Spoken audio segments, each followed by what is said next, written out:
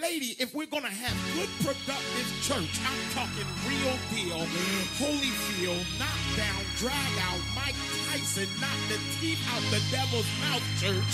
It's not going to be because we get a good loop on the organ and we begin to hear cymbals clash and we sweat our dues out and sweat our clothes off. God said if we going to have real church, they going to get up, get up, get up. The rapper and the preacher all combined I know it's been a long time since Christ blasted his gun. He had to take me apart, deal with some inner issues, add some oil to my heart. You know, anoint my inward parts. Skin this tree from its bark.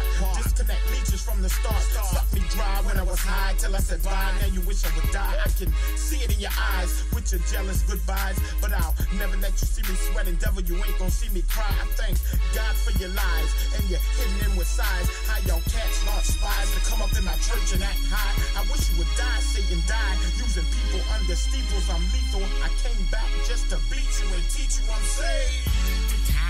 Told my, I'm going to try that one more time, Tina. The problem is, and the reason that we've been losing is, is that we've been gathering battles together and been trying to fight all of them at one time and not realizing, you ready for this? That at the end of each battle, there comes a reward and you're trying to fight other battles and the reward at the end of the battle is actually the weapon to defeat the next level. And you've been fighting a lot of levels, but you've not had the reward from previous battles to be able to, y'all, to be able to defeat the next level. So God said, if you fight one battle at a time, my son, don't worry about what tomorrow holds because if you defeat today, tomorrow is already trembling. I ain't got nobody in here. Don't worry about how I'm going to get over tomorrow's mess because I need you to believe me for today's chaos. I ain't got a church up in here that will stop calculating and adding up what your money cannot afford because it will not afford it. You need to stop adding up your electric bills, your electric, then putting your gas here, then putting your house here, then putting your gas here, then putting food here, only to come up with negative. And you cannot get anywhere because you keep adding up what you see no way out of. So when you see the common denominator underneath the line and what you've added up, all you see is defeat. But tell somebody if you take it one battle at a time, all you do is win because one battle at a time means that he supplies my every need according to his riches, preach now, and his glories. You've been messing up because you've been adding up your monthly mess, your monthly bills. You've been adding up your stress, your headaches, and your family. You've been adding up body aches. You've been adding up bad doctor's reports. You've been adding up cutting up families, messed up husbands, messed up mamas, messed up families. You put it all together, and all you smell is defeat. But I need you to say, God, which battle do I need to pursue right now? Which one is it that I need to conquer? Because at the end of every level, tell somebody at the end of every level, He's got to release the weapon. See, y'all were messing up. You were looking for God to release to you riches, but God said at the end of every battle, I release another weapon, Lord have mercy, for you to conquer the next battle. Preach it here, Holy Ghost. I ain't got nobody in here that will realize that houses, cars, and money is good. But this weapon that I got, I keep trying to fight this thing that is in front of me, and it is not working, and I am tired, good God, of swinging this weapon and not hitting. Tell somebody a new weapon is about to hit your hands right now. And that weapon only is based upon your faith in your going through. Tell somebody, I believe, I believe. Where God is taking me, he, he, he, he, said, son, speak tonight uh, over what you want out of the house and what you want into the house. And, and I said, well, God, I said, I, I'm at a place now where I'm tired of being the consumer. Catch you right there. I said, I'm tired of being the consumer. I'm ready to be the wholesaler or the retailer. I ain't catch. Hey, maybe somebody I try to get that right there. Thank you. There you go. There you go. You caught it. You caught it. You caught it. I'm gonna try that again. I am tired of being the one who needs. I'm ready to be the one that provides. Somebody just caught it. I said, I don't want to be the consumer anymore, having to surf the internet and find what it is I want. And when I find it, now I got to shop around and see what's the lowest price. God, could you bless me because of my going through and make me the one that they have to come to now? Preach up in here. And now I can be the lender instead of the borrower. Oh boy, we got a church now. Everybody's tapped in. Look like everybody in the house is sick and tired of walking around with your hand out. I, am not at a place where I am frustrated, but I'm ready to put something on the line. There is a difference in between being frustrated and fed up. God, frustration will make you do the wrong thing. Fed up will make you do one of two things either fight or submit. Look at somebody, tell them I ain't no quitter. Oh, God. I'm to try that one more time. I am fed up with having not enough to take care of. I talk to me of being right here, having to look at the same thing. God, I need you to bless me indeed. Enlarge my territory. And watch this. I believe it when I say it this time.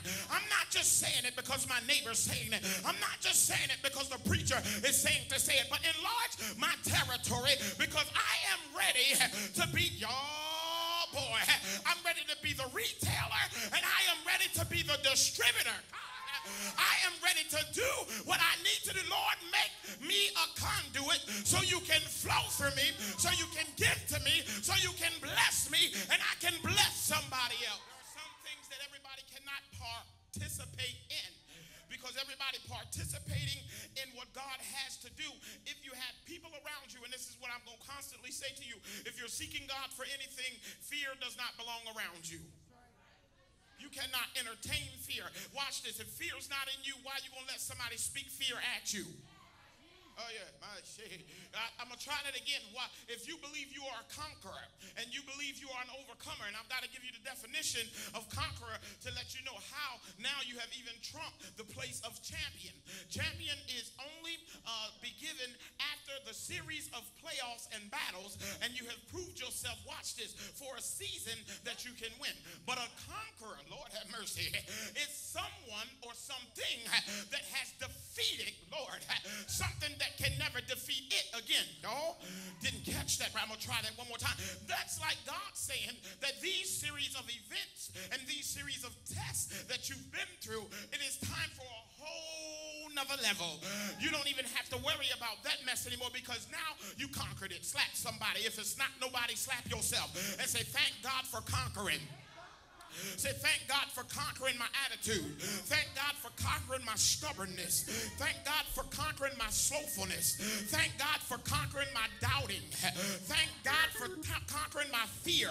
Thank God for conquering, here's the big one, my flesh. Thank God for conquering. I ain't got nobody in here that'll be real. Thank God for conquering my issues.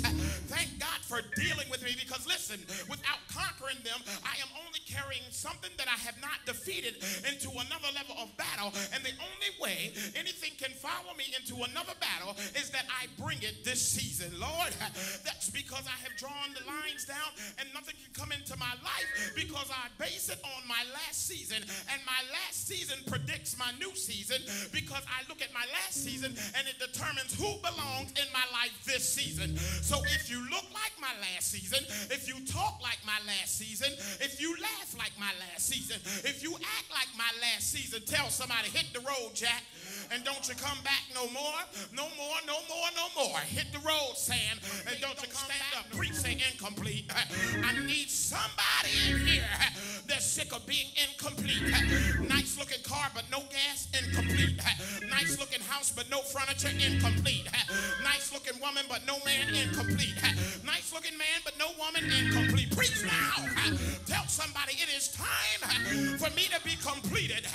God never start anything and not finish it. He is the author and the finisher of our, of our, of our, of our, of our. God can't complete anything if you don't believe him. God saying, I'll start you, but I'll give you the faith to write the middle. But I can't complete nothing if your faith without works is dead. And complete it. I'm going to complete my vision. I'm going to complete my business plan. I'm going to complete my healing. I'm going to complete my forgiveness. Look at somebody and tell them it is complete. Sit down for a second. We get ready to leave. He says, season of incompletion ends now. Look at somebody shout, it ends now. I don't need the organ for a second. Say it ends. Hear him, but I said it ends with incomplete things.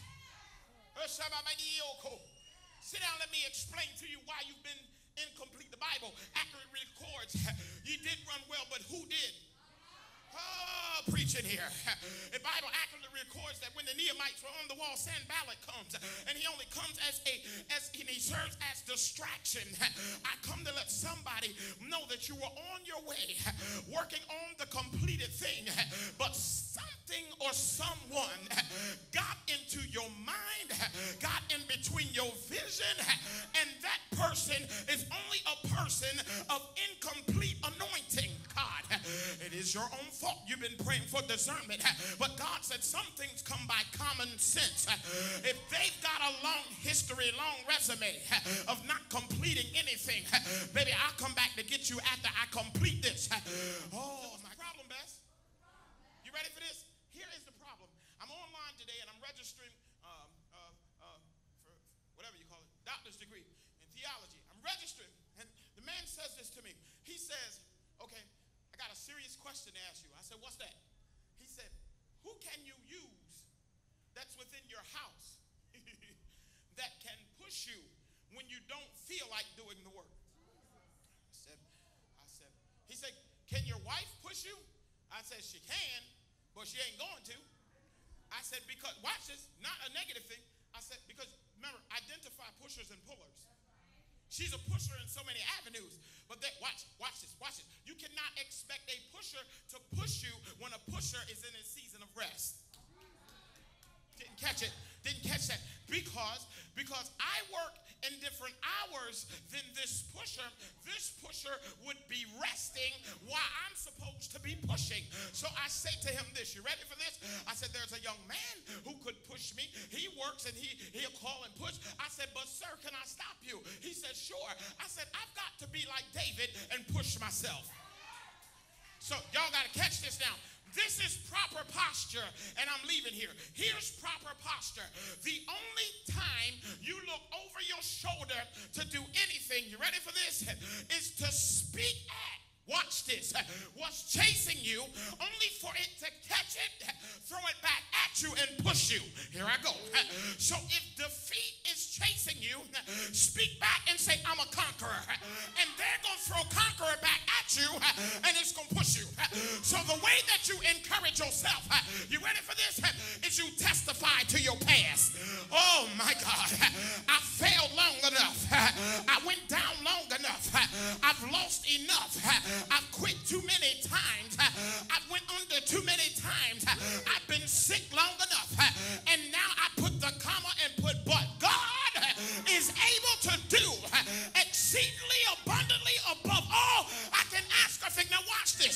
Now when I turn around, defeat has no other choice but to take what I gave it and throw it because the devil cannot hold anything that's holy because it makes him sick preach Holy Ghost. So now it must take my words and throw them at me to push me. Tell somebody I'm about to push myself.